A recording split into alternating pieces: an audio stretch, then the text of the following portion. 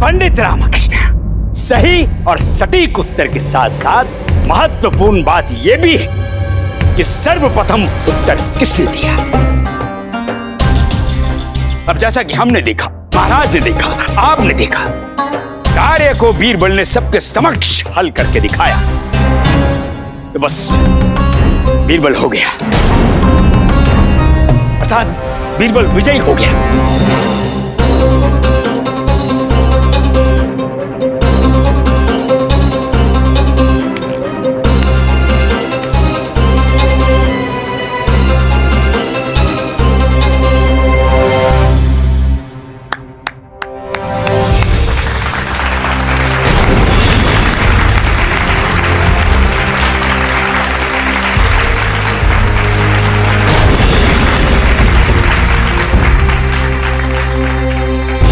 अद्भुत। बीरबल महोदय अद्भुत। तो स्पर्धा का ये पड़ाव बीरबल जीत गए।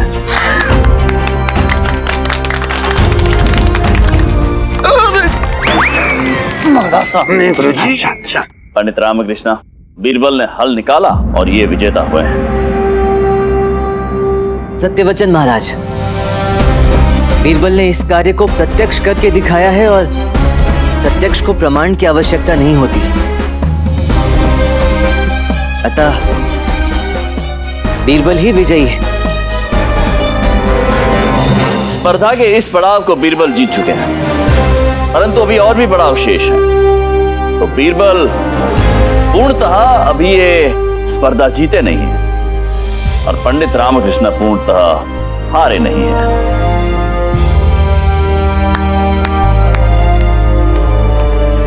गुरुवर, आप बीरबल को यहाँ लाए।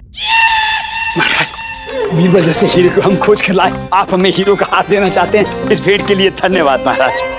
गुरुवर ये हार अब बीरबल को पहनाइए आप। जी महाराज।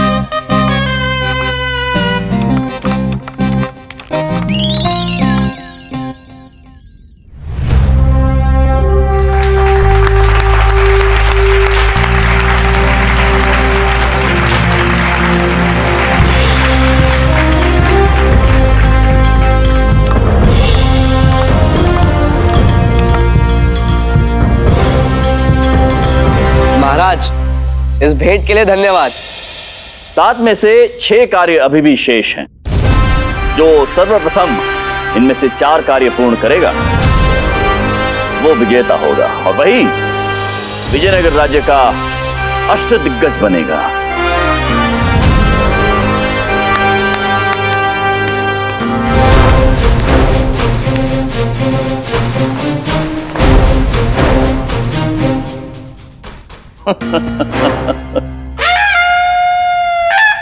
ये पड़ाव, ये कार्य भी अद्भुत है। महल और उसके आसपास के विस्तार में पाँच ताज, अर्थात पाँच मुकुट छिपाए गए हैं। इन मुकुट को ढूंढना, इसे ढूँढने के लिए आपको संकेत सूत्र और पहेलियाँ दी जाएँगी। जो नहीं दिखता है, उसे ढूंढना है और ढूँढने के लिए दृष्टि नहीं दूर दृष्टि की आवश्यकता होगी। प्रत्येक ताज में अगले ताज की संकेत सूची छुपी होगी। तो आइए, हम पढ़ते हैं पहले ताज को पढ़ने की पहेली। हम्म। काले घोड़े पर सफ़ेद सवारी। एक उतरा तो दूसरे की बारी। हो रही है ऐसी तैयारी कि रहे ना जनता, भूख की मारी।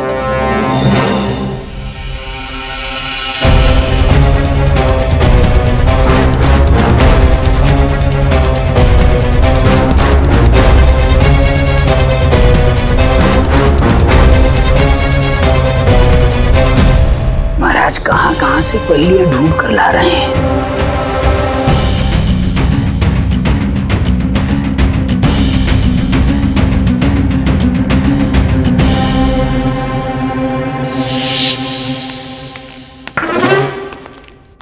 हमने सब देखा कि कैसे आप कल के युवक से हार गए।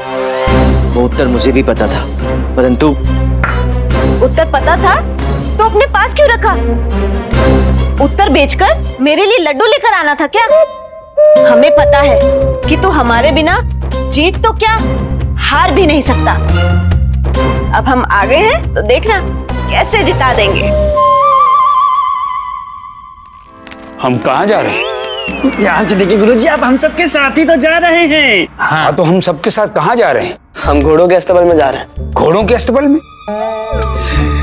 बीरबल पहली सुलझाने के लिए दिमागी घोड़े दौड़ाने पड़ते हैं। ये वास्तव के घोड़े दौड़ाने की क्या आवश्यकता है? पहली सुनिए और समझने की कोशिश करिए।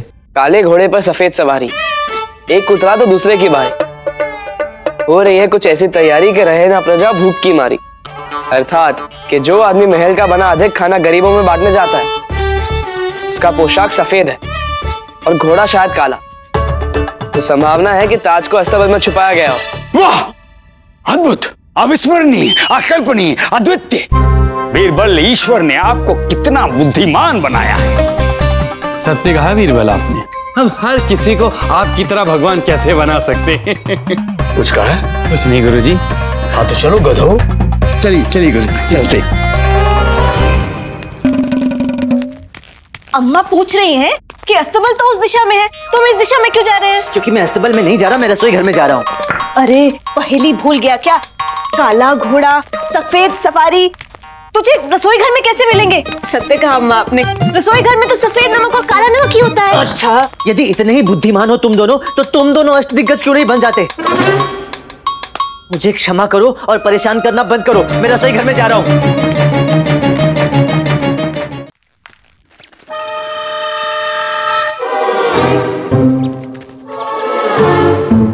यहाँ काला घोड़ा तो कहीं दिखाई नहीं दे रहा है। अरे गधो तुम्हें यहाँ कोई काला घोड़ा दिखाई दे रहा है? नहीं दिखाई दे रहा है गुरु जी अब यहाँ दिमाग की नहीं मेहनत की आवश्यकता है। अस्तबल का चप्पा चप्पा ढूंढना होगा। अच्छा ढूंढते हैं। ढूंढते हैं बीरबल जी।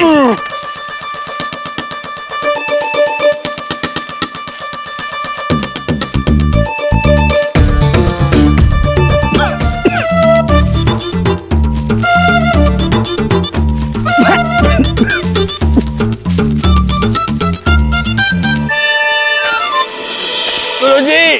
गुरु गुरु गुरु जी देखिए। दरबार। दरबार आए गुरुजी। सुनो सुनो। जी। और अर्थ बताओ काले घोड़े पर सफ़ेद सवारी एक उतरा तो दूसरे की बारी।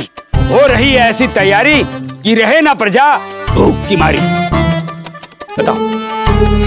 गुरुवर मुझे इस मंत्र का अर्थ नहीं पता। मूर्ख जाओ दूर हो जाओ हमारी दृष्टि से। रुकिए। क्या यहाँ आज कोई काला घोड़ा आया था? नहीं। कोई और आया गया हो? नहीं। ठीक है जाइए।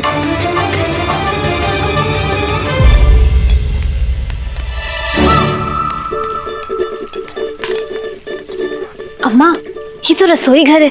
यहाँ तो कोई काले घोड़े की तस्वीर तक नहीं लगाता। इसे इस समय भी अष्ट दिग्गज बनने के नहीं खाने के सपने आ रहे हैं। तभी रसोई घर में आया है।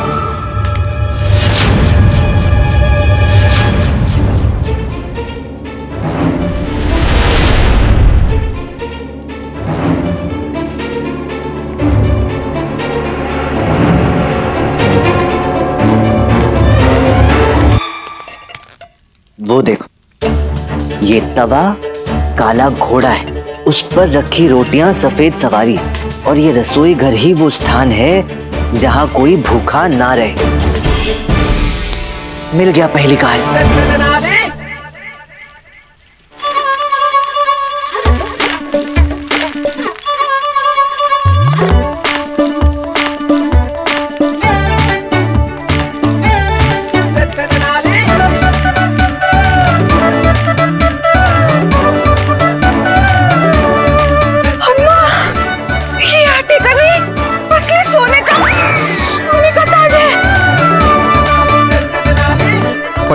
पंडित रामा जी भंडार गृह में और भी आटा का पात्र पड़ा हुआ है। ले आऊँ। नहीं नहीं उसकी कोई आवश्यकता नहीं है।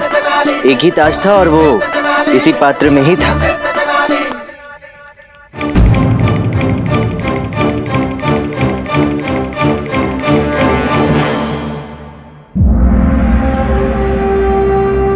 अद्भुत पंडित रामकृष्ण अद्भुत।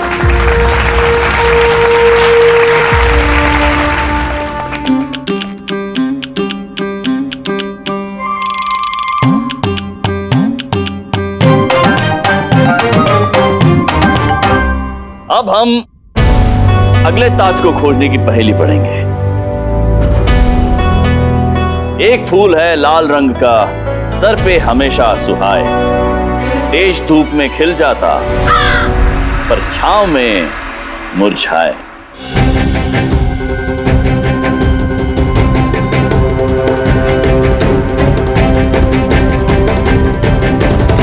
महाराज कृष्णदेव राय की। महाराज कृष्णदेव राय की। महाराज कृष्णदेव राय की। फूल है लाल रंग का अब ये जो महाराज ने पहली में जिसका वर्णन किया वो फूल तो पहली में ही हो सकता है। ये बाग बागीचों में तो कदापि नहीं मिलेगा। बगीचों में ना सही परंतु महाराज के रथ पर मिल सकता है।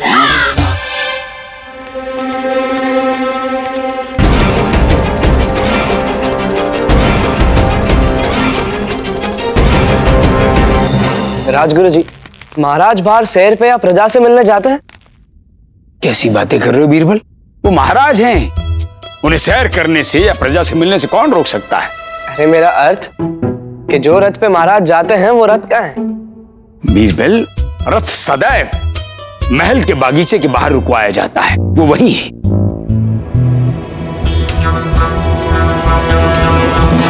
आइए आइए। ये है वो रथ। देख लीजिए।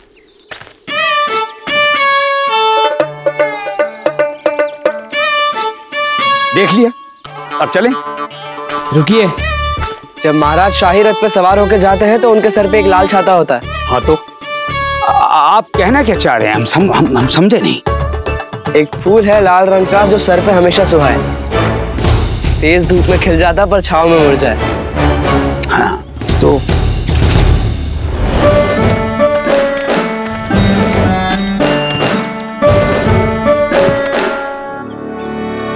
यही है वो लाल फूल।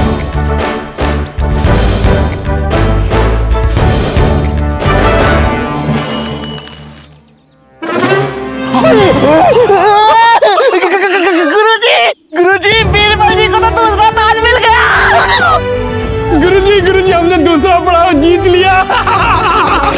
देखा राजगुरु जी आप कह रहे थे कि ऐसा फूल होता ही नहीं है परंतु मैंने पहली के शब्दों को नहीं मैंने अर्थों को समझा तो परिणाम मिला।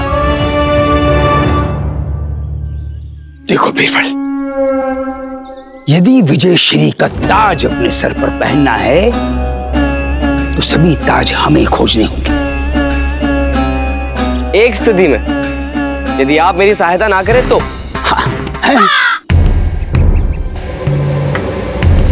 किंतु पंडित रामाकृष्णा की सहायता तो कर ही सकते हैं। तो इस समय पंडित रामकृष्ण और बीरबल दोनों ने एक एक ताज ढूंढ निकाला है। अर्थात एक एक जीत दर्ज कर ली है। आइए अब है तीसरे ताज की जिसकी पहली हम्म, दूसरे ताज में थी। एक राजा की अनोखी रानी दुम के सहारे पीती पानी। है? दुम के सहारे पीती पानी? पिए तो रहे उसकी जवानी। अन्यथा है वो मर जानी।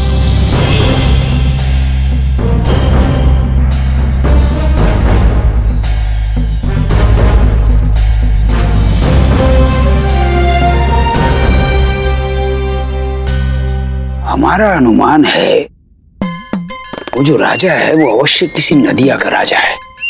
हाँ तभी तो उसकी रानी पानी पी पी कर पी पी कर जीवित रहती है।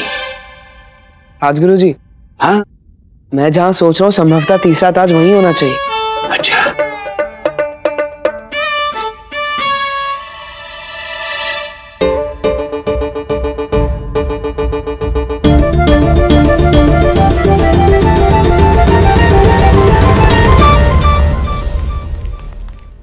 एक राजा की अनोखी रानी।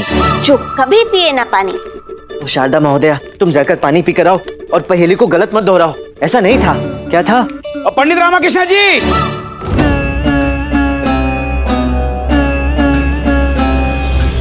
पंडित रामाकृष्ण हमें आपसे कुछ सहायता चाहिए। गुरुवर समय ऐसा है कि यदि मैं स्वयं अपनी सहायता करूँ तो मेरे लिए अधिक अच्छा होगा।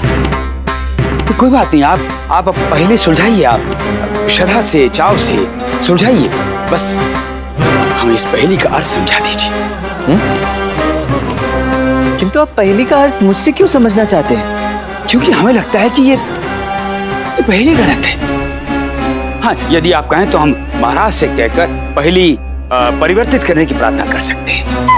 अब देखिए ना ये एक राजा की दो दो रानी एक प्रेम की दो कहानी बिछड़ जाए तो है मर जानी।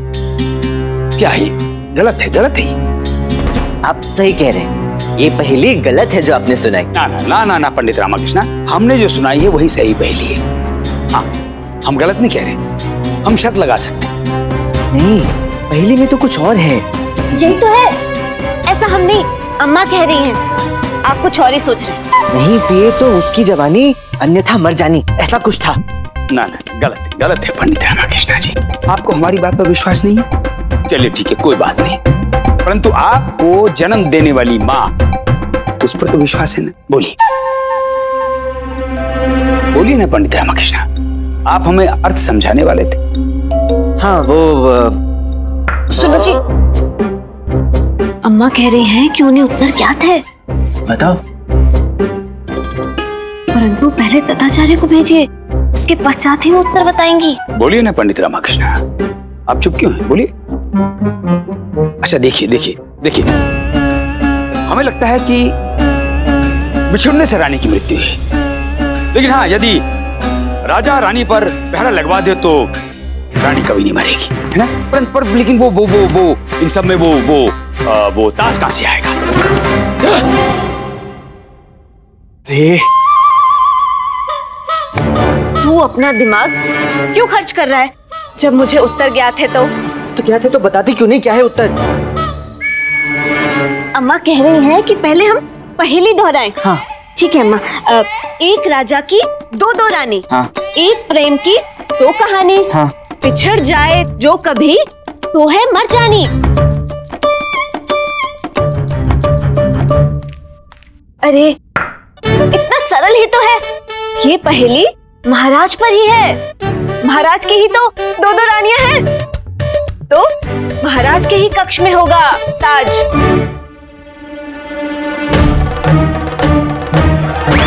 समझा चल, ढूँढने चलते हैं। हाँ किंतु महाराज के कक्ष में जाने के लिए तो मंत्रीवर से अनुमति लेनी पड़ेगी।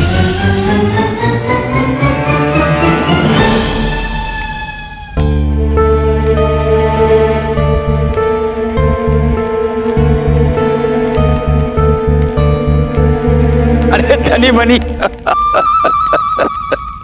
धनी मनी हमने पंडित रामाकृष्ण की ऐसी सहायता की ऐसी सहायता की कि अब समस्त विजयनगर में कोई उसकी सहायता नहीं करेगा। अरे बीरबल हम तनिक उस और क्या गए? तुम सब यहाँ चले आए। क्यों? क्या देख रहे हो हैं? मुस्कुरा क्यों रहे हो।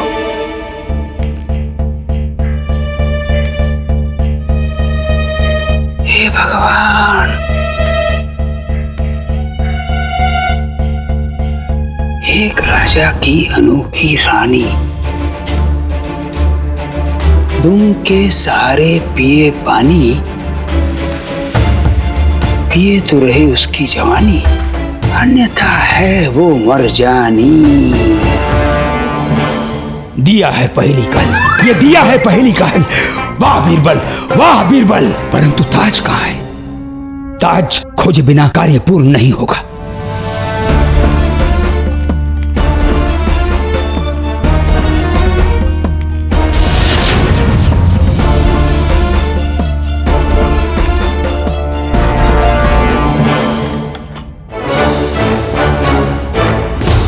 मिल गया।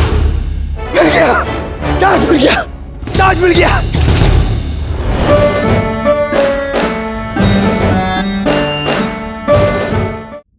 ओ अमेश्वरी तुम क्या तब से पांचवी बार पलंग का भ्रमण कर रही हो?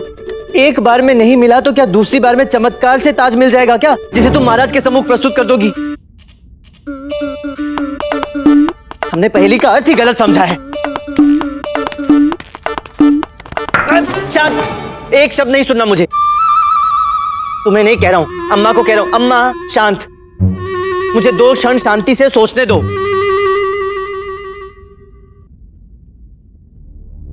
एक राजा की अनोखी रानी। दुम के सहारे पीती पानी। जब तक पिए रहे जवानी, ना पिए तो मर जानी।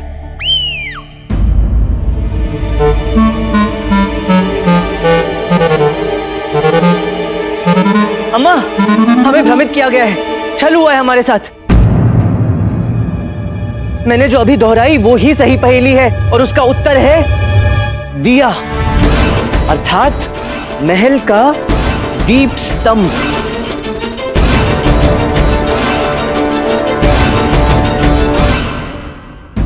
अरे आइए आइए, पंडित रामाकृष्णा।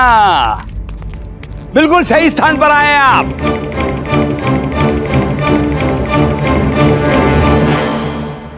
धनी मनी। जी गुरु जी तनिक पंडित रामाकृष्णा से थोड़ा खेद व्यक्त कर दीजिए। इन्हें आने में थोड़ा विलंब हो गया और ताज हमें मिल गया। अब ये ताज हम स्वयं अपने हाथों से महाराज को देंगे। पंडित रामाकृष्णा तुम्हारी हार और बीरबल की जीत के बीच मात्र एक ताज की दूरी। है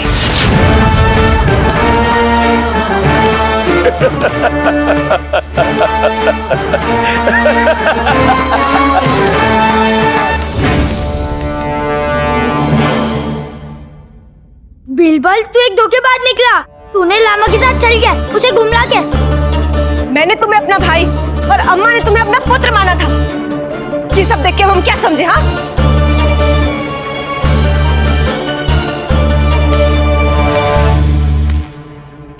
पंडित रामाकृष्ण जी। क्या आपको भी लगता है कि मैंने आपके साथ छल किया? यदि हाँ तो मैं अभी इसी समय प्रतिस्पर्धा छोड़ के चला जाऊँगा। नहीं। छल तो हुआ है। किंतु जानता हूँ कि तुमने नहीं किया। गुरुवर ने किया है। ये भी जानता हूँ कि छलने वाले से अधिक दोष छले गए व्यक्ति का होता है। किंतु तुम भी याद रखना बीरबल कि हर वो जीत, जो छल और कपट के खोखले आधार की नींव पर खड़ी होती है, वो कभी भी गिरकर धराशायी हो सकती है। उच्चतम मैं आपकी बात से सहमत हूँ। और मैं वचन देता हूँ कि अब से इस प्रतिस्पर्धा में मैं कोई छल नहीं होने दूँगा।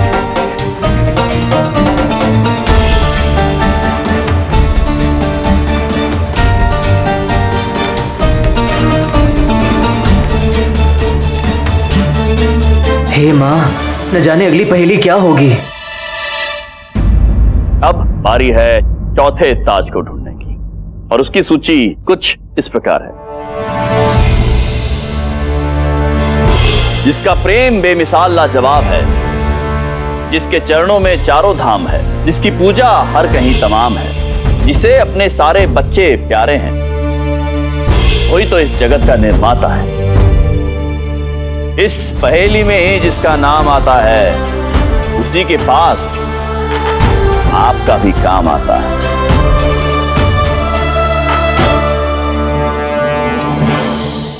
कुछ कठिन लग रही है पहली ये तो।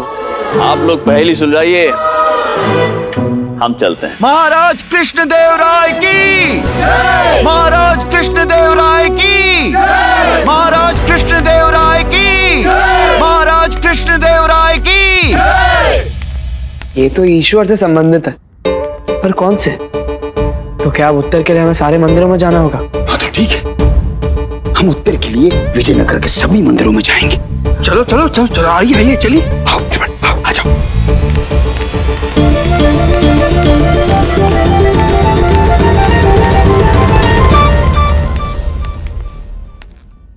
पंडित रामकृष्ण हमारे अनुमान से ये अब तक की सबसे सरल पहेली है। मंदिरों में जाइए और ताज लेकर आइए। चलो शीघ्र करो। वो लोग यहाँ से चले गए। ये हिल क्यों नहीं रहा है? क्या किसी पालकी के आने की प्रतीक्षा कर रहा है? पता भी है विजयनगर में कितने मंदिर हैं। चल शीघ्र चल। नहीं अम्मा मुझे केवल माँ के मंदिर में जाना है। परंतु परंतु क्यों जाना है? जिसे अपने सारे बच्चे प्यारे हैं। वही तो इस जग का निर्माता है। और निर्माता में ही माता का शब्द आता है। जिनका नाम इस पहेली में भी है।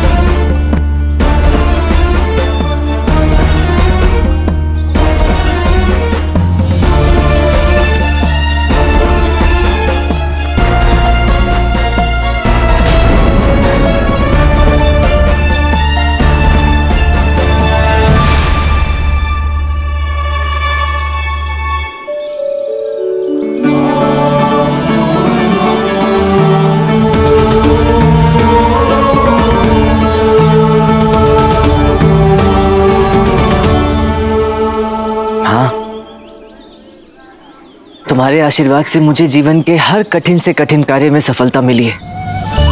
आज इस परीक्षा की घड़ी में भी तुम्हारी ही कृपा रही। तुम्हारी इस चरणों की भेंट को तुम्हारा आशीर्वाद समझ अपने साथ लिए जा रहा हूँ।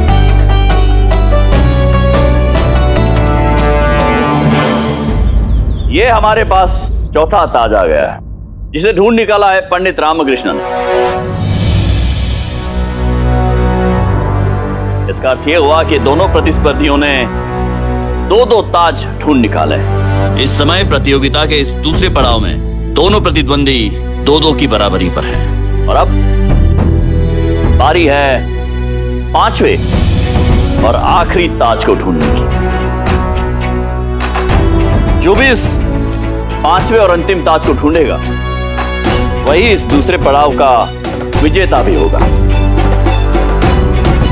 सप्त दिग्गजों के अनुसार इस कार्य को पूर्ण करने हेतु आपको दूरदृष्टि की आवश्यकता होगी दूरदृष्टि तो हमारे पास है। आइए देखते हैं किसके पास है वो दूरदृष्टि। पढ़ते हैं। सूची पत्र पांचवे ताज के लिए। विष्णु का जो अंश है महान जिनका वंश है मानते हैं वो गुरु जिन्हें उसी में जीवन का सारांश है।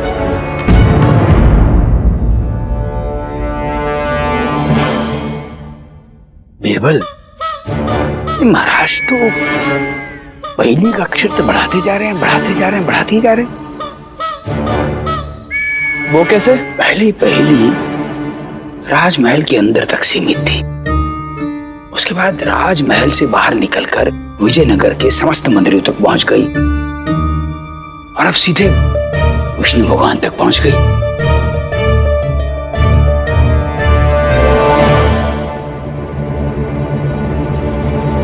क्या बात है? इस पांचवी संकेत सूची के विषय में किसी की प्रतिक्रिया नहीं आई? तो क्या हम ये मान ले कि इस पांचवे और अंतिम ताज को ढूँढने के लिए आप दोनों में से कोई भी सक्षम नहीं है? महाराज जी, पंडित रामकृष्ण।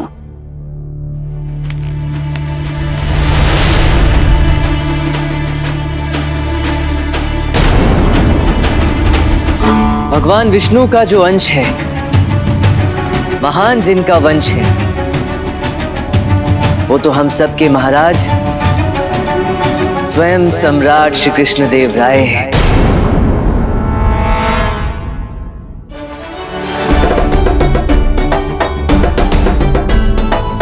और जिन्हें आप अपना गुरु मानते हैं, उन्हीं में अपने जीवन का सार पाते हैं। और वो सार ही आपके जीवन का सारांश है।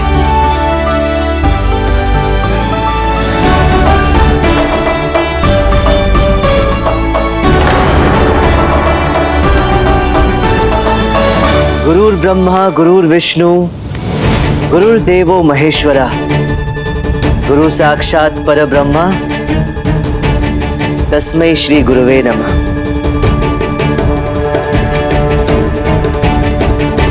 गुरुवर, मैं आपसे आग्रह करूँगा कि कुछ क्षणों के लिए अपने आसन से उठ जाएँ। हाँ हैं?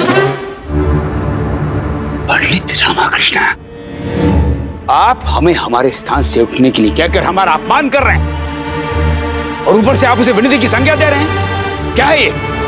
गुरुवर कृपया रुष्ट ना हो। और पंडित रामकृष्ण को सहयोग दें।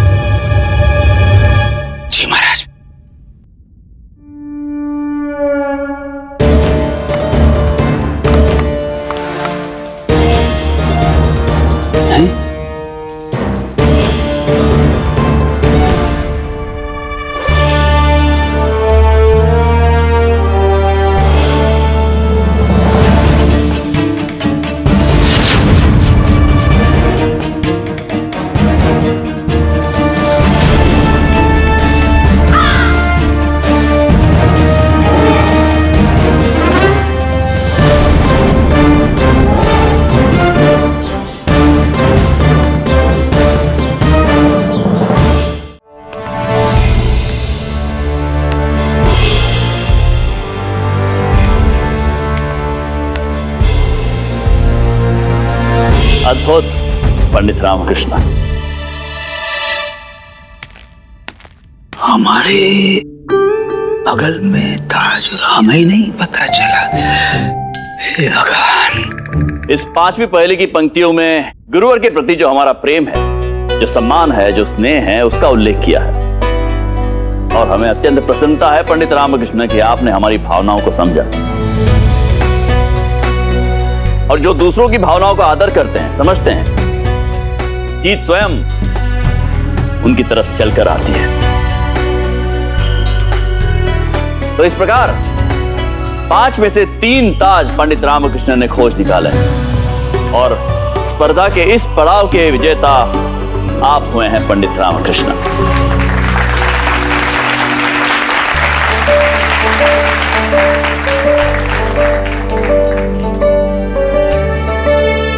तो इस प्रकार पहला पड़ाव बिरबल जीते हैं और दूसरा पंडित रामकृष्ण। और जैसे कि इस स्पर्धा की प्रथा रही है, जो विजेता होगा उसे पुरस्कार मिलेगा।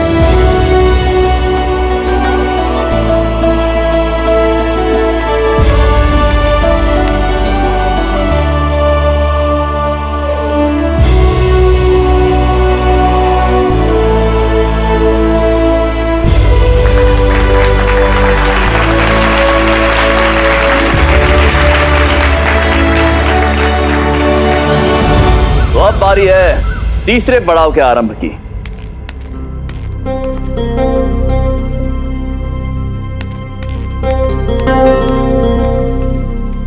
दो दरबान है सीना तान। एक है सच्चा, एक है झूठा। दो द्वार आमने सामने एक नरक को खुलता, दूसरे से स्वर्ग मिलता। पूछना है केवल एक ही प्रश्न, वो भी बस एक ही बात, और खोल कर कर आर और पार। जाना है स्वर्ग के द्वार।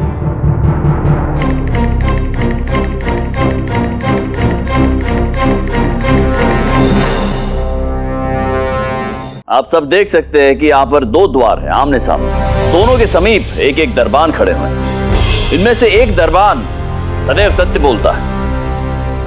और दूसरा हमेशा झूठ बोलता है। अब दोनों प्रतियोगियों को क्या करना है? इन दोनों को किसी भी एक दरबान से एक प्रश्न पूछना है। परंतु स्मरण रहे, किसी भी एक ही दरबान से केवल एक ही प्रश्न पूछा जा सकता है। उसके पश्चात आपको अपने विवेक से यह निर्णय लेना है कि कौन सा द्वार खोला जाए।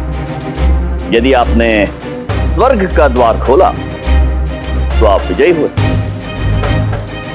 और यदि नर्क का द्वार खुला आपसे तो आप पराजित हो गए। ओ अच्छा अच्छा अच्छा अच्छा अच्छा अच्छा। एक और ध्यानपूर्वक सुनने वाली बात है। दोनों में से जो भी प्रतियोगी सर्वप्रथम प्रश्न पूछता है और द्वार खोलता है और वो यदि स्वर्ग का द्वार हुआ तो दूसरा प्रतियोगी बिना प्रश्न पूछने के अवसर ही पराजित हो जाएगा।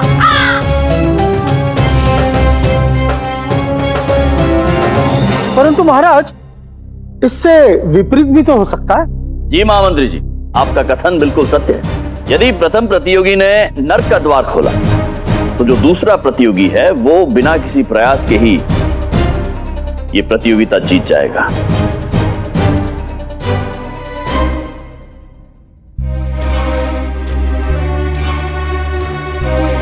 अतः हम तत्पर हैं। ये देखने के लिए कि आप दोनों में से कौन सर्वप्रथम द्वार खोलने का प्रयास करेगा।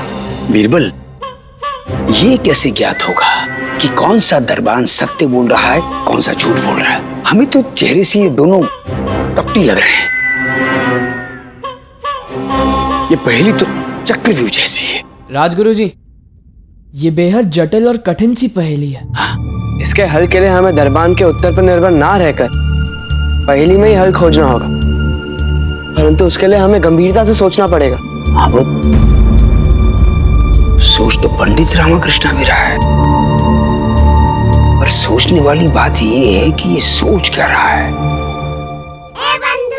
रामा किसी भी द्वार को खोलने से पहले अपने मस्तिष्क के सभी द्वार खोल लेना और शांति से विचार करना रामा। हाँ बंधु। तो बता रामा अब क्या करेगा? स्वर्ग का द्वार खोलूँगा। अच्छा तो क्या तुझे उत्तर क्या है पता है?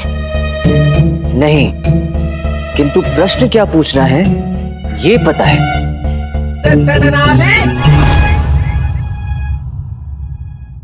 सुनिए देखिए अब पहली को हल करने के लिए पहले मत जाइएगा। क्यों? क्यों क्या? देख उस गुरुवर के चेहरे को। उस पर साफ़ लिखा है कि उसे उत्तर ज्ञात नहीं है। और ऐसे में जब बीरबल पहली हल करने जाएगा तो डर के नरक का द्वार ही खोलेगा। अम्मा, ये समय बीरबल के डर पर दांव लगाने का नहीं है। महाराज, मैं पहेली का हल निकालने हेतु दरबानों के समीप जाने की अनुमति चाहता हूँ। क्यों? बीरबल महोदय, आपको कोई आपत्ति तो नहीं? नहीं महाराज, कोई आपत्ति नहीं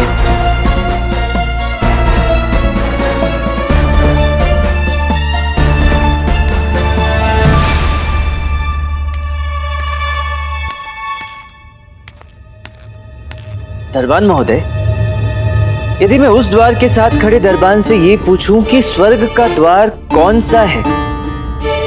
तो वे किस द्वार की ओर संकेत करेंगे?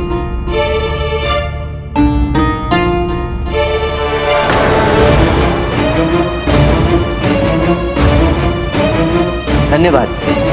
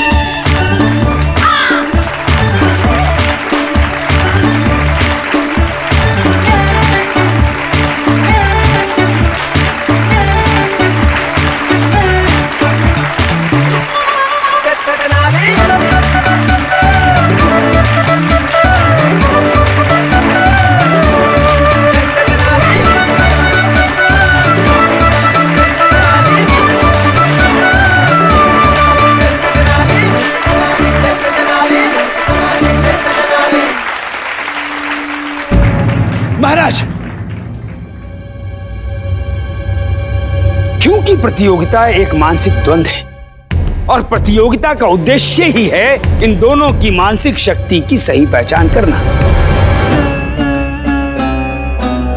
तो महाराज, इसका अर्थ यह हुआ कि प्रतियोगी उसी पहेली में विजयी घोषित किया जाएगा, जिसका हल वो अपनी बुद्धि से करेगा, ना कि किसी संजोग से। अब देखिए पंडित रामाकृष्णा ने जिस पहेली को हल किया है, हो सकता है कि उन्हें उसका उत्तर ज्ञात ना हो। मात्र संजोग से द्वार खुल गया हो।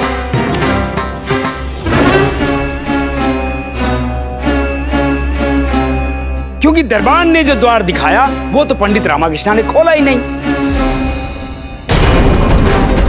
गुरुवर, हम आपके तर्क से सहमत हैं। गुरुवर ये वाला द्वार खोलना ही नहीं था। क्योंकि ये नर्क वाला द्वार है।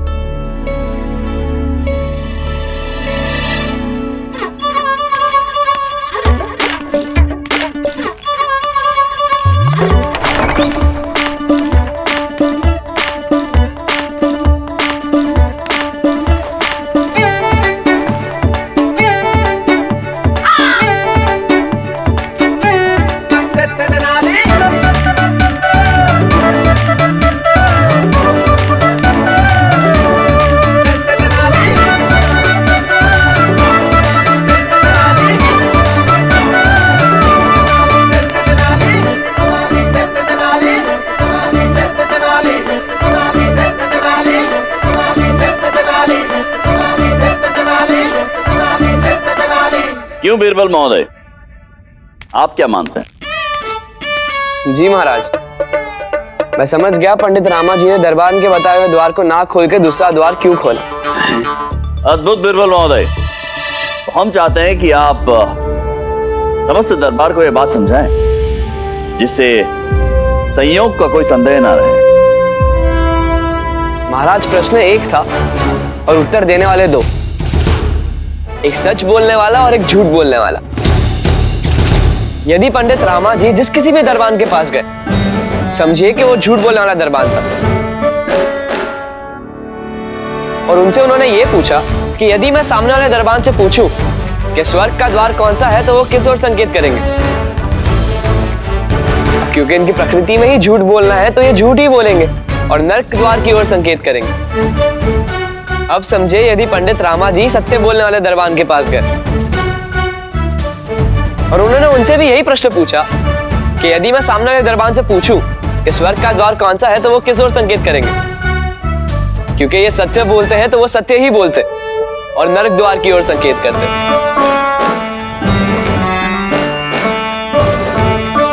पंडित रामा जी का चतुराई भरा प्रश्न ही इस प्रकार था कि दोनों स्थिति में संकेत नरक द्वार की ओर ही होता।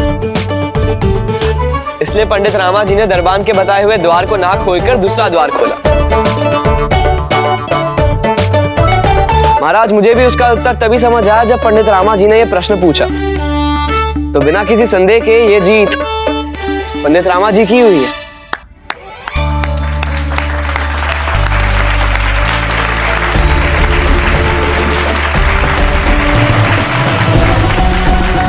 अद्भुत।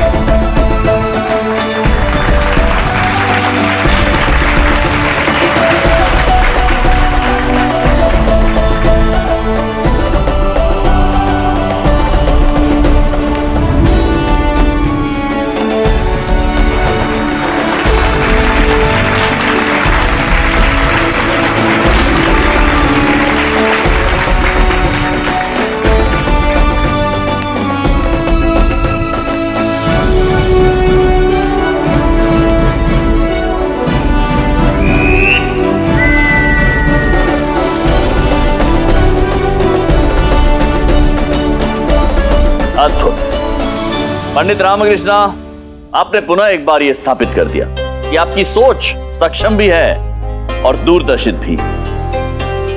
और बीरबल महोदय, आपने जिस प्रकार अभी अभी हल का वर्णन किया, हमें लगा कि आप हल के बिल्कुल करीब पहुँच गए थे। परंतु पंडित रामकृष्ण पहले बाजी मार गए। तो इस प्रकार, इस पड़ाव के विजेता है पंडित रामकृष्ण। अब तक तीन पड़ाव पूर्ण हो चुके हैं। जिनमें से दो पड़ाव पंडित रामकृष्ण जीत चुके हैं और एक जीत बीरबल महोदय ने अपने नाम कर ली है। बीरबल बीरबल कुछ करो। हम दो एक से पीछे हैं। राजगुरु जी पीछे अवश्य हो गए। परंतु हारे नहीं। पंडित रामाकृष्ण जी के साथ खेलने में हमें बहुत आनंद आ रहा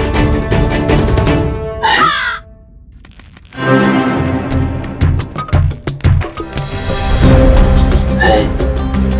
ये रस्सियाँ किस लिए?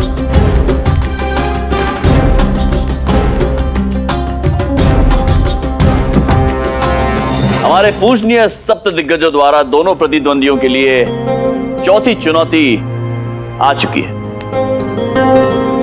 इसे पढ़ने जा रहे हैं। ध्यान से सुनिएगा। समय बीतता है। समय हमारे हाथों में नहीं।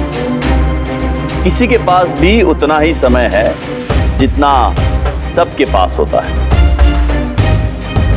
अतः दिन के आठ प्रहर, बस उसका उपयोग हर कोई अलग अलग करता है।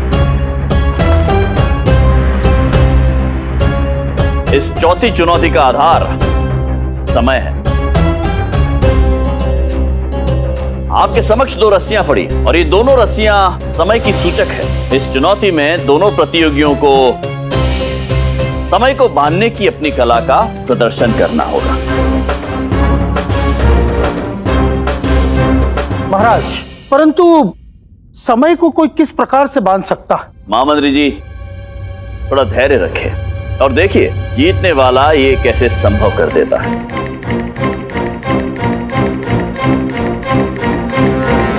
इन दोनों में से प्रत्येक रस्सी को जलने में एक पहर लगता है। और दोनों को जलाने में दो पहर।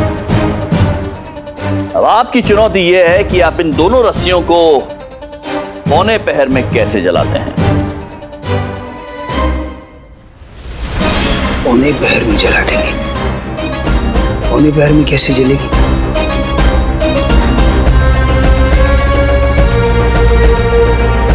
पौने पहर में। महाराज आपके दिए गए कार्य को संपन्न करने की अनुमति चाहता हूँ। अवश्य पंडित रामकृष्ण आपको कोई आपत्ति तो नहीं? नहीं महाराज मुझे को, कोई आपत्ति नहीं। आइए बिरबल महोदय।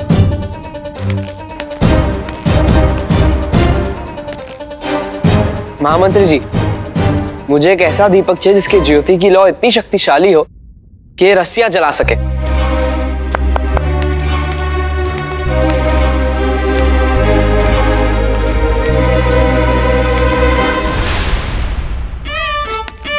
अरे जला क्यों रहे हैं आप?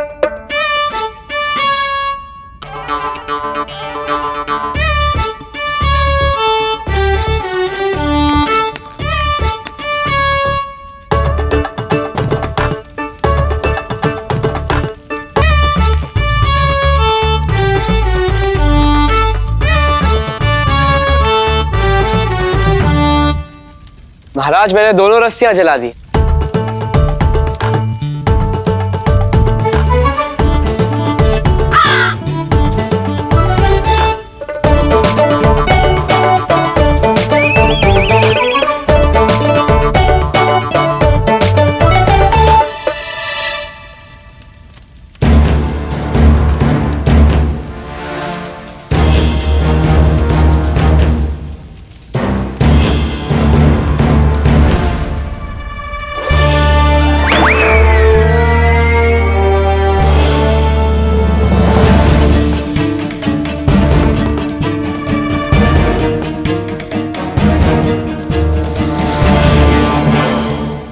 महाराज जिस रस्सी को दोनों छोर से जलाया था वो पूरी जल चुकी है।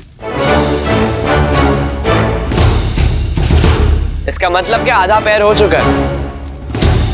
और जिस रस्सी को एक छोर से जलाया था वो सिर्फ़ आधी जली। ये बात तो सही है। इसी हम पुष्टि करते हैं। महाराज अब इस आधी जली रस्सी को हम दूसरे छोर से भी जला देते हैं। और इसे पूरी तरह जलने में एक चौथाई पैर लगेगा।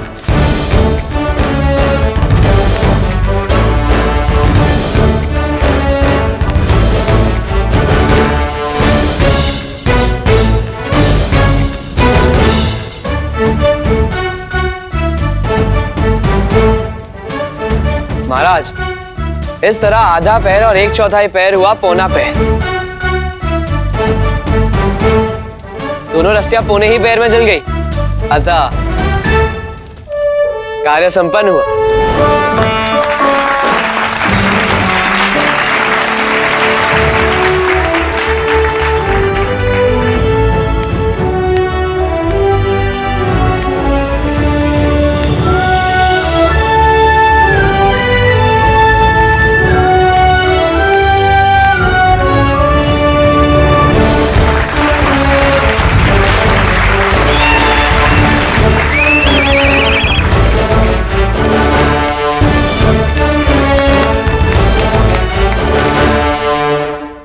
तक हम चार पड़ाव पार कर चुके हैं। और इन चार पड़ाव में पंडित रामकृष्ण और बिरबल महोदय दो दो जीत अपने नाम दर्ज करके बराबरी बरा पहुँचे।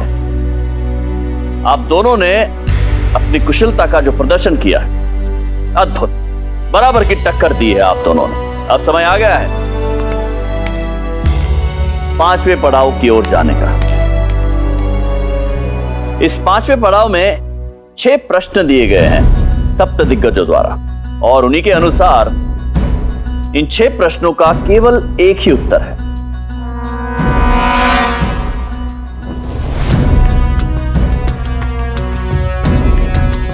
छह प्रश्न का एक ही उत्तर? हम दोहराते हैं। पाँचवें पड़ाव में छह प्रश्न है और छह प्रश्नों का केवल एक ही उत्तर है। जो सही उत्तर देगा वो विजेता होगा।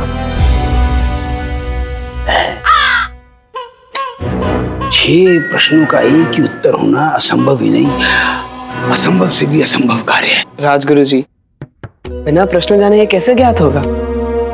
हाँ ये भी है। सप्त दिग्गजों का यह भी कहना है कि ये पांचवा पड़ाव किसी भी ज्ञान से अधिक तत्व ज्ञान से संबंधित है।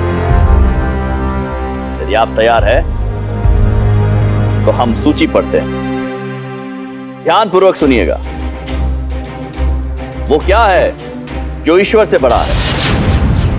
वो क्या है जो शैतान से बुरा है? वो क्या है जो गरीबों के पास है? वो क्या है जो धनवान चाहते हैं? वो क्या है जिसे ग्रहण करने से मृत्यु हो सकती है? वो क्या है जो मृत्यु के पश्चात भी हमारे साथ आता है?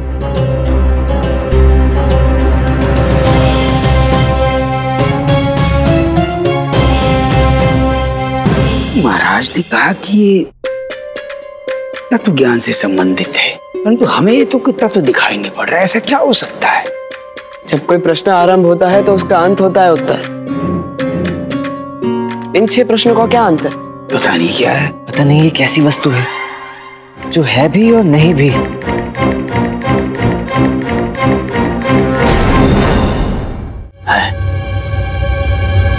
पंडित रामाकृष्णा तो बीरबल को ऐसे देख रहा है जैसे बीरबल के चेहरे पर उत्तर लिखा हो।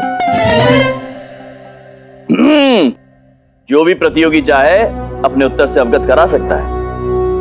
यदि वो उत्तर तक पहुँच गया हो तो।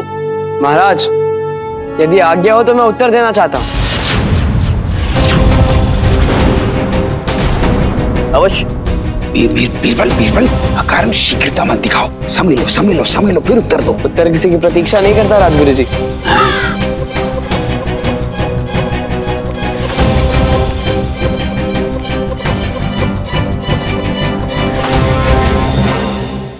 तो बीरबल महोदय क्या है आपका उत्तर? अर्थात क्या है वो वस्तु? कुछ नहीं, कुछ नहीं।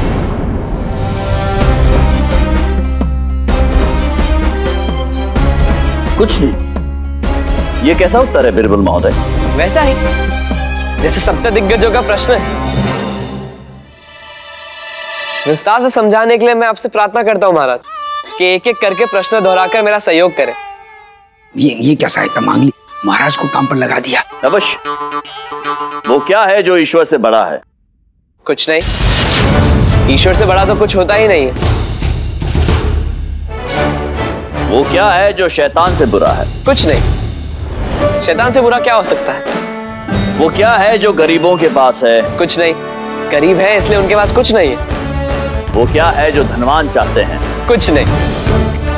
हाँ, धनवान क्या चाहेंगे? वो क्या है जिसे ग्रहण करने से मृत्यु हो सकती है? कुछ नहीं। यदि आप कुछ भी नहीं ग्रहण करेंगे तो आपकी मृत्यु ही हो जाएगी। और वो क्या है जो मृत होने के पश्चात भी हमारे साथ ही जाता है। कुछ नहीं। हमें जन्म के बाद सब कुछ इसी लोग को मिलता है महाराज। और मृत्यु के बाद उसे यहीं छोड़कर जाना पड़ता है। तो इन सभी प्रश्नों का एक ही उत्तर है। कुछ नहीं। और ये सभी ज्ञान के नहीं अपितु तत्व ज्ञान के प्रश्न अद्भुत बीरबल महोदय। इन सभी प्रश्नों का एक ही उत्तर था जो आपने दिया। कुछ नहीं। अद्भुत।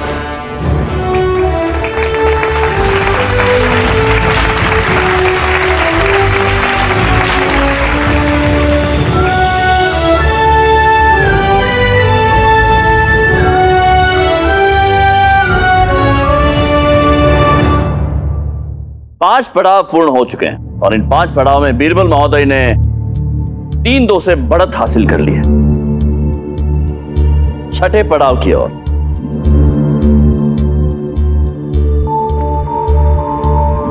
यदि गत पड़ाव तर्क ज्ञान पर आधारित था तो यह पड़ाव पारिवारिकता पर आधारित है।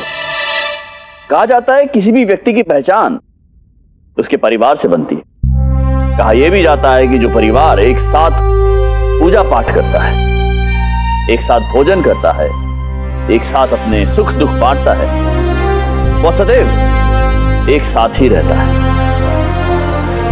तो ऐसे ही एक आदर्श परिवार के लिए एक भोज का आयोजन होता है। और इस भोज में परिवार के सभी सदस्य उपस्थित हैं। ये केवल इस चुनौती की भूमिका बांधी है हमने। अब प्रश्न की बारी। एक आदर्श परिवार में जिसमें एक सामूहिक भोजन का आयोजन हुआ है। उसमें एक दादा है। एक दादी है, दो पिता हैं। दो माँ हैं, चार संतान हैं। तीन पोते भी हैं, दो बेटे हैं, दो पुत्रियाँ हैं। और हाँ, एक सास और एक ससुर भी है। और याद रखिएगा पुत्र वधु भी है। और घर में मात्र एक चौकी। और कुल मिलाकर केवल सात ही आसन है।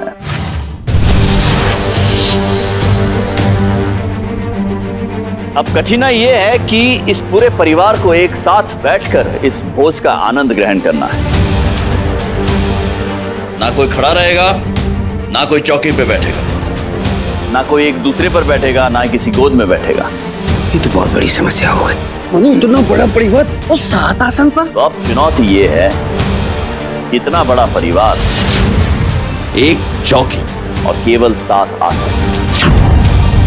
खोज कैसे होगा?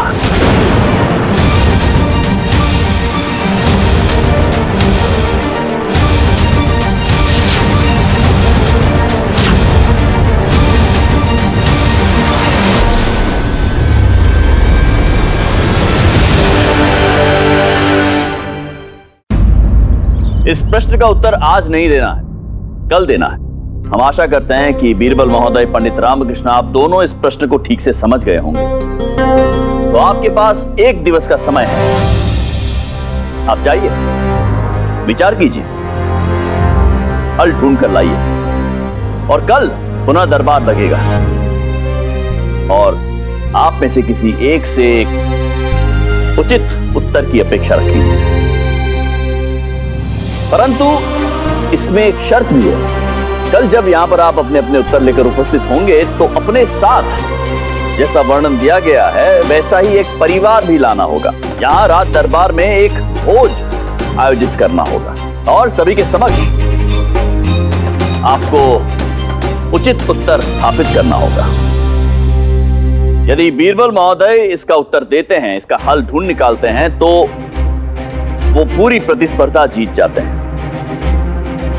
और यदि पंडित रामकृष्णा कल हल ले आते हैं तो दोनों पुनः एक बार बराबरी पर आ जाते हैं।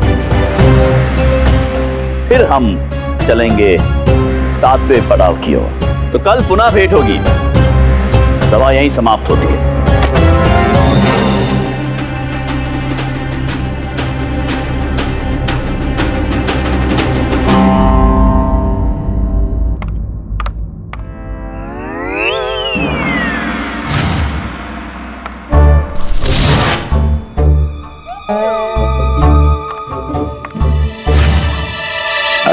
दादा को यहाँ बिठा दें। पोता और बहू वहाँ बैठेंगी। और पुत्र वधु धनी समझो तुम पुत्र वधु पुत्र वधु और मनी तुम दादा। हो और हम इस घर के पुत्र हैं। बैठो। हम इस घर के पुत्र हैं। अच्छा बीरबल ये बताइए आप क्या बनना पसंद करेंगे? मैं मात्र पहेली हल करने की इच्छा रखता। अब पहेली कुछ है ही ऐसी। इतना बड़ा परिवार एक साथ सात आसनों पर बैठ के कैसे भोजन कर सकता है? हाँ वही तो। सही कह रहे हो।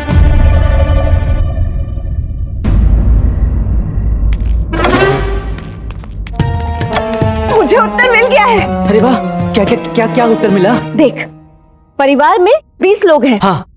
और बैठने के लिए कुर्सियाँ सात हैं। हाँ। तो हर कुर्सी को बड़ा कर दे कि उसमें एक कुर्सी में तीन लोग बैठ सके। बस उसके बाद पूरा परिवार साथ में बैठ के भोजन कर सकता है। वाह अम्मा क्या उत्तर दिया है? ऐसे तो एक स्थान और बढ़ जाएगा। इक्कीस लोग हो जाएँगे। तो एक काम करना उस स्थान पर तुम बैठ जाना और ऐसे लड्डू खाना हाँ? चलेगा। अरे क्या चलेगा? थोड़ी देर के लिए अपना मुँह बंद रखो और मुझे दिमाग चलाने दो। क्या चलाने दो? है तेरे पास? तुझे पारिवारिक प्रश्न का उत्तर इसलिए नहीं मिल रहा क्योंकि तू स्वयं पारिवारिक नहीं है। अरे, तू घर पर रहता ही कितना है कि परिवार क्या है? समझ आ सके?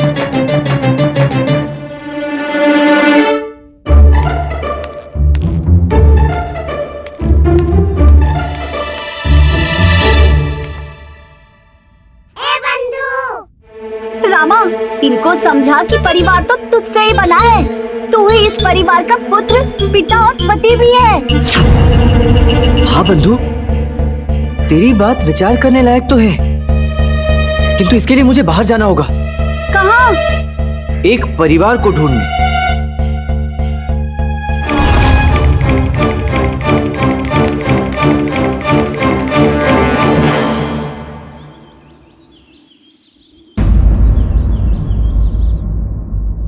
नहीं मिला नहीं मिला नहीं मिला। क्या नहीं मिला राजगुरु जी? बीरबल एक भी ऐसा परिवार नहीं मिला जो प्रश्न में वर्णित परिवार से मेल खाता हो। हाँ गुरुजी इतनी तो कभी हमने मंदिर की घंटियाँ नहीं बजाई जितना सुबह से लोगों के द्वार खटखटा रहे हैं और पूछते जा रहे हैं भाई तुम्हारे घर में सदस्य कितने हैं? कैसी मुसीबत है गुरुजी? किसी के यहाँ चार सदस्य तो किसी के यहाँ चालीस सदस्य है भगवान। यदि हम परिवार ढूंढ भी लेंगे उन्हें सात आसनों पर कैसे बिठाएँगे? वो सब बाद में सोचेंगे। पहले परिवार तो मिले। हम महाराज से क्या क्या और आसन लगवा देंगे? महल में कमी नहीं है आसनों की। यदि परिवार ही नहीं मिला तो भोजन कैसा? पूरे विजयनगर में एक भी आदर्श परिवार नहीं मिला। कोई अच्छा भाई नहीं है। किसी पुत्र वधु की अपनी सास से नहीं बनती है। कोई व्यक्ति किसी से प्रेम करता है, किसी से नहीं करता है। अलग अलग व्यक्ति से अलग अलग रिश्ता है।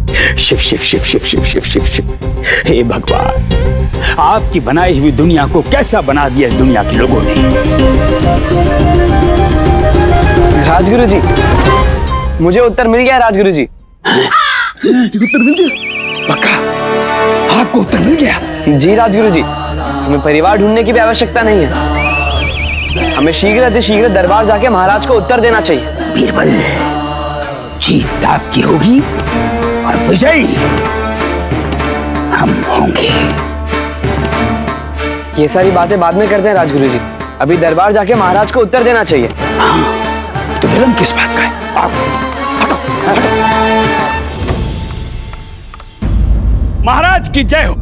महाराज की जय हो। महाराज की जय हो। महाराज की जय हो। महा...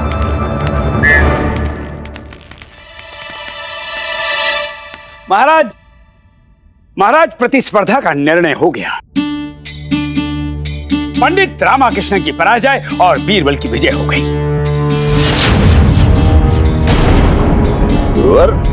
ये आप क्या कह रहे हैं? महाराज वही कह रहे हैं जो कुछ क्षणों के बाद होने वाला है। अर्थात भविष्य बता रहे हैं। महाराज बीरबल उत्तर देने के लिए पूर्णतः तैयार हैं।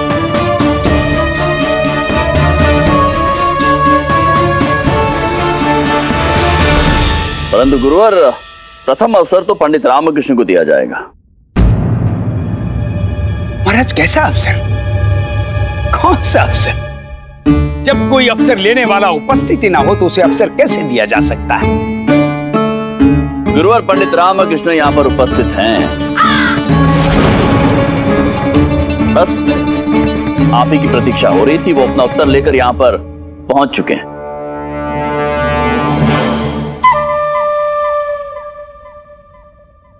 महाराज पंडित रामाकृष्णा को हम देखते ही पहचान जाते हैं। विचित्र प्राणी जो है।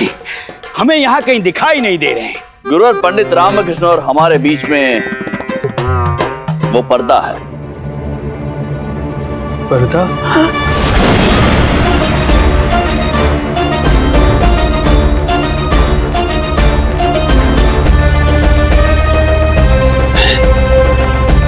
पंडित रामाकृष्ण। प्रणाम गुरुवर। कैसे हैं आप?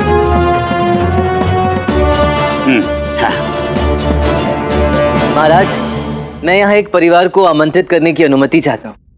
अवश्य। धन्यवाद महाराज।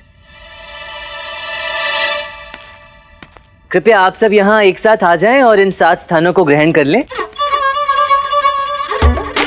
आइए। विदा जी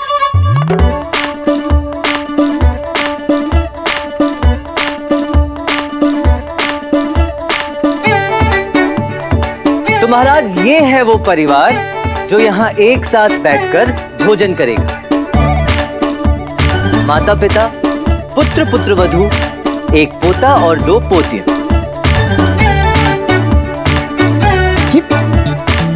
ये कैसे संभव है? पंडित रामाकृष्ण आपको ठीक से दिखाई नहीं दे रहा है ये तो मात्र सात हैं। जबकि प्रश्न के अनुसार परिवार में बाईस सदस्य थे। राजगुरु जी पंडित रामा जी का उत्तर सही है। नहीं नहीं। कैसे सही है? ऐसे कैसे सही है? मंत्रीवर कृपया गुरुवर के लिए एक बार पुनः प्रश्न दोहरा देंगे। अवश्य पंडित रामकृष्ण। गुरुवर इस परिवार में एक दादा दादी हैं दो पिता हैं दो माता हैं चार संतान हैं तीन पोते हैं दो पुत्र और दो पुत्रियाँ हैं। और हाँ एक सास और एक ससुर भी है और एक पुत्र वधु भी है लेकिन यहाँ तो सात है अभी बताता हूँ गुरुवर कृपया आप बताएँ कि आप इस परिवार में क्या क्या है? मैं पिता हूँ पति हूँ और दादा हूँ और ससुर भी हूँ। आप? माँ हूँ पत्नी हूँ सास हूँ और दादी भी हूँ। आप क्या क्या है? मैं एक माँ हूँ पत्नी हूँ पुत्र वधु भी हूँ। मैं एक पिता हूँ एक पुत्र भी हूँ और एक पति भी हूँ। धन्यवाद। और महाराज इन तीनों में एक पोता है और दो पोतियाँ हैं। एक पुत्र है दो पुत्रियाँ हैं। तो महाराज ये है वो परिवार जो इस समय सामूहिक भोजन समारोह में आमंत्रित है। कृपया देख लीजिए कोई रह तो नहीं गया? नहीं पंडित रामकृष्ण। सब यहाँ पर उपस्थित हैं। वो भी एक साथ।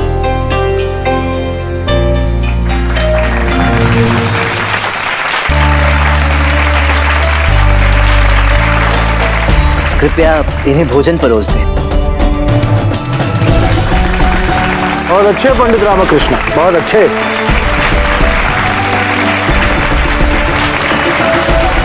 अद्भुत पंडित रामकृष्ण।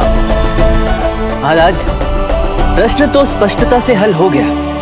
किंतु प्रश्न के पीछे सप्त दिग्गजों का जो उद्देश्य था, वो साफ़ नहीं हुआ। महाराज, इस प्रश्न की सीख ये है कि हम सब हमारे जीवन में बहुत सारे चरित्रों और रिश्तों को निभाते हैं। और परिवार लोगों से नहीं अभी तो एक दूसरे के प्रति प्रेम और स्नेह के रिश्तों से बनता है। अद्भुत पंडित रामकृष्ण। पंडित रामकृष्ण ने ना केवल इस प्रश्न का सही उत्तर दिया है, अपितु इस प्रश्न में छिपी हुई सीख से हम सभी को अवगत कराया अद्भुत पंडित रामकृष्ण, इस छठे पड़ाव के विजेता आप हुए।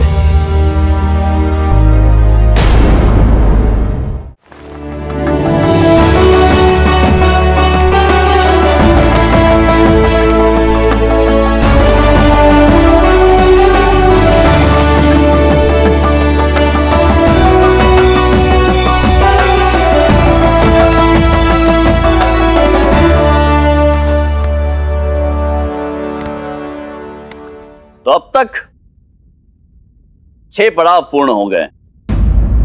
और पंडित रामकृष्ण और बीरबल महोदय दोनों तीन तीन अंक लेकर पुनः एक बार बराबरी पर खड़े हो गए हैं। यहाँ पर मेरा यह कहना अनिवार्य होगा कि जिस प्रकार आप दोनों ने इस अद्भुत, इस अद्वितीय द्वंद का प्रदर्शन किया है, निसंदेह विजयनगर राज्य की गरिमा में वृद्धि हुई है। आप दोनों का धन्यवाद। और अब, सातवां पड़ाव।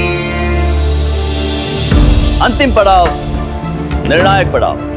ये पड़ाव जो भी जीतेगा, वो बनेगा विजयनगर राज्य का अष्टदिग्गज।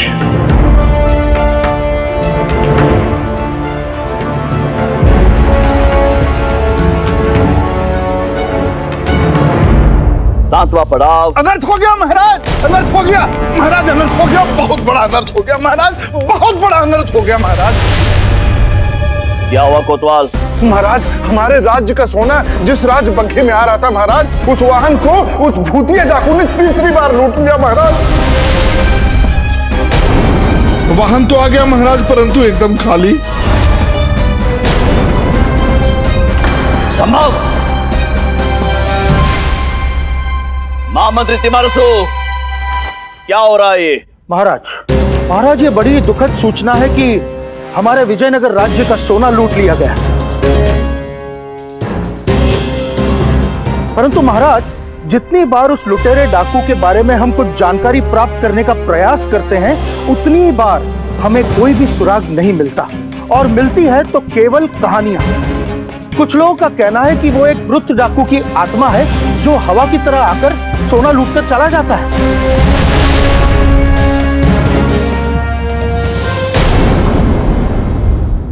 ये कैसे संभव है महामंत्री जी? सोना लाने की हमारी व्यवस्था कैसी? महाराज एक सुरक्षित बग्गी में एक लोहे से चार परतों से बना मज़बूत बक्से के अंदर उस सोने को रखा जाता है। सोना रखने के बाद उस बक्से को ताला लगा दिया जाता है। तब पश्चात वो बग्गी विजयनगर के लिए निकलती है महाराज।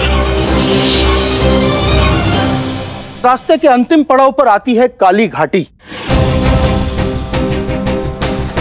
और महाराज, ये वही काली घाटी है जहाँ पर उस लुटेरे डाकू का कहर हुआ करता था।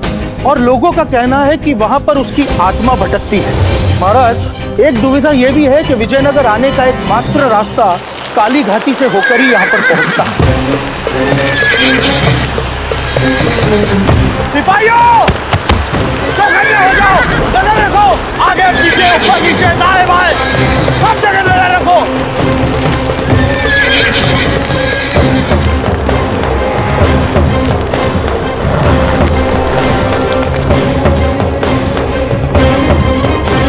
सिपाहियों, आगे बढ़ो। बढ़ो। और जब वो बग्घी हमारे राजकोष में पहुँची, तब बक्सा खाली निकला महाराज। महामंत्री जी क्षण की बात है। ऐसी घटना का होना विजयनगर राज्य की सुरक्षा व्यवस्था पर प्रश्न चिन्ह खड़ा करता है। उस धन से हम विजयनगर राज्य की प्रजा के लिए कल्याणकारी कार्य करने वाले थे, महामंत्री जी। और ये विजयनगर की प्रजा के साथ अन्याय है। और हमारे लिए असहनीय है। यह अन्याय हम होने नहीं देंगे, महामंत्री जी। कोतवाल, मत भूलिए, राज्य में धन और सोने का आगमन आपके अधिकार क्षेत्र में आता है। तो इसके लिए उत्तरदायी भी आप ही हैं। जी, गुरुवर। महाराज पूर्व की घटनाओं से सबक लेकर मैंने इस बार बहुत ही सख्त और सुरक्षित व्यवस्था की थी महाराज। और अपने राज्य के सबसे योग्य खजांची को अपने अनुभवी सिपाहियों के साथ नियुक्त किया था महाराज। इसके बाद भी पता नहीं कैसे ये लूट कब और कहाँ कैसे हो गई महाराज कुछ भी समझ में नहीं आ रहा है। महाराज यदि हम यही सोच के चलेंगे कि ऐसा कोई भूत या आत्मा कर रही है तो हम समस्या के हल तक कभी नहीं पहुँच पाएँगे। क्योंकि भूत और आत्मा केवल अंधश्रद्धा में ही होती है। जी महाराज और यदि हम ये मानेंगे कि कोई तो है जो हमारी उस भूतिया डाकू की कहानी का लाभ उठाकर हम पर विषघात कर रहा है तो ही इस समस्या के हल की ओर हमारा पहला कदम होगा।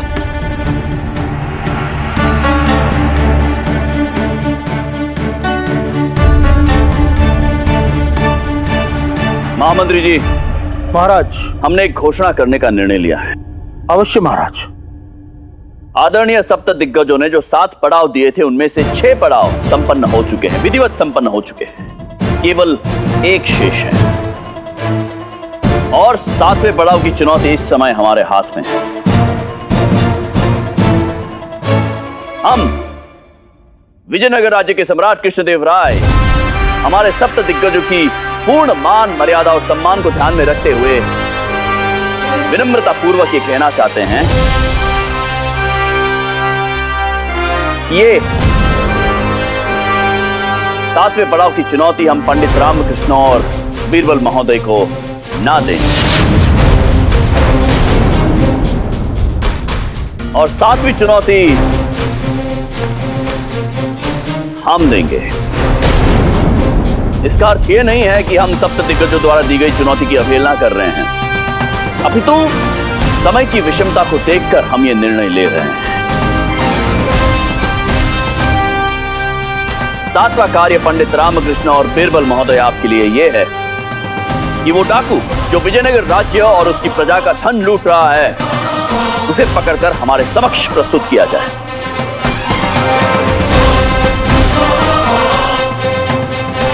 इससे राज्य को दो लाभ होंगे।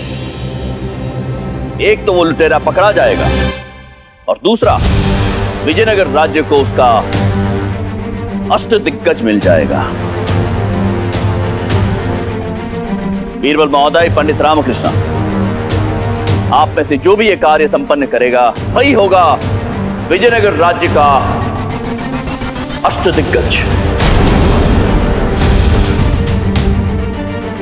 इस कार्य के लिए हम कोई समय सीमा निर्धारित नहीं कर रहे हैं। परंतु विजयनगर राज्य के हित के लिए, हम सभी के हित के लिए इस कार्य को शीघ्र अतिशीघ्र संपन्न किया जाए।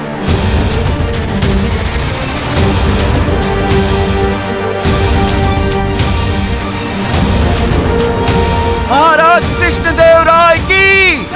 महाराज कृष्णदेव राय की।